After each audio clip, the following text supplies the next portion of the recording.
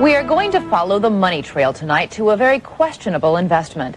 It is a 444 foot tall castle in the sand, a colossal hotel on the east coast of Florida.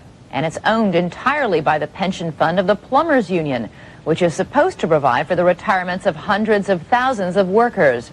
The more than $4 billion pension fund is expected to spend 800 million of its dollars to build the hotel. This is not the kind of safe, secure investment that pension funds usually pursue. Here's ABC's Brian Ross. It's a beachfront hotel, but there's almost no beach. Over budget by hundreds of millions, it's one of the most expensive hotel construction projects in Florida ever. Yet not all the floors are flat, and some of the walls have a tilt. I call it the Leaning Tower of Maddaloni. Maddaloni is Marty Maddaloni, seen here on the hotel's golf course, the man behind the project. He's not a real estate developer. Maddaloni is the president of one of the country's big unions, the Plumbers Union.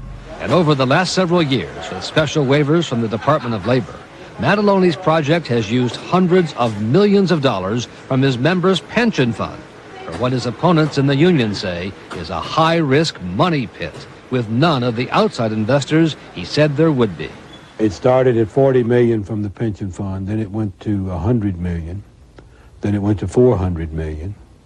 Then it went to 600 million. And what is it now? It's 800 million now.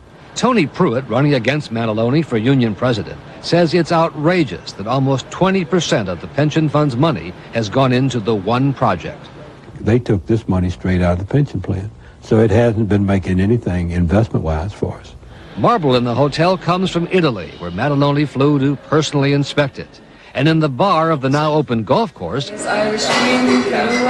a special drink called the Maddaloni Coffee, $7 a pop. I don't think he has the right to play the role with our money. Some retired Plumbers Union members say Maddaloni is stroking his ego at the expense of their pensions. Uh, my main concern is, is the money safe?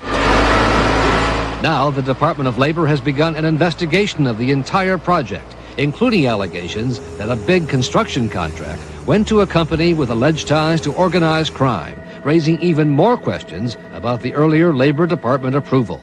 It's beyond my comprehension because the Department of Labor certainly knows about these individuals. They know about these people who are involved in organized crime. They know all about these companies. Mr. Maddaloni, Brian Ross from ABC News wanted to ask you some questions about... Maddaloni has denied any wrongdoing, but refused uh, repeated requests to talk with ABC News. And when we caught up with him in Washington, he tried to hide his face. Why are you having your men block us? And his associates tried to block our camera.